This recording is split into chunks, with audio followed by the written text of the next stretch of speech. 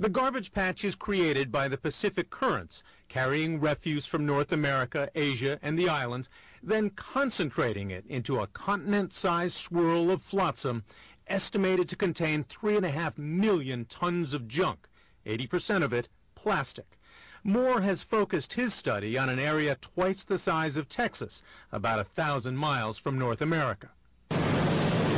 Sailing his research catamaran Alguita, Moore and a small crew drag a trawling device through the garbage patch to study the content of ocean water.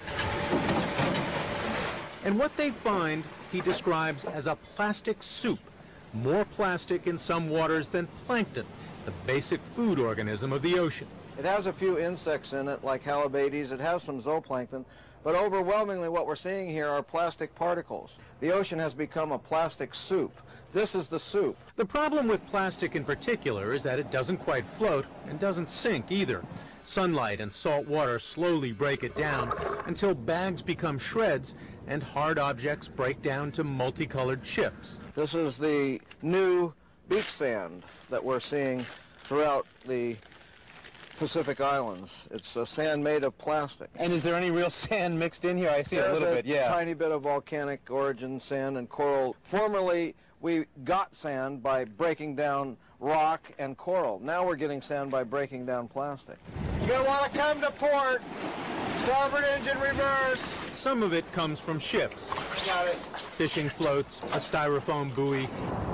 But the vast majority of plastic garbage in the ocean comes from land.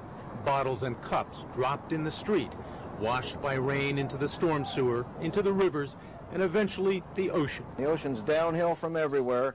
Things blow and drift into the ocean.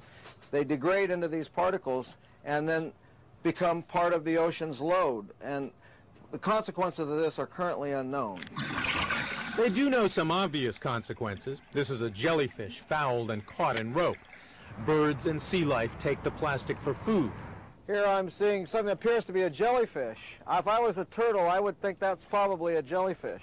But that's a plastic bag. But it's a plastic, it's a balloon maybe. Albatross chicks have been killed by a diet of plastic bits. And there's a question of what happens when the plastic breaks down even further. The bigger chips turn to smaller chips, and we eventually get dust. Our concern is that this dust then goes to the molecular level and invades the entire food web in the ocean.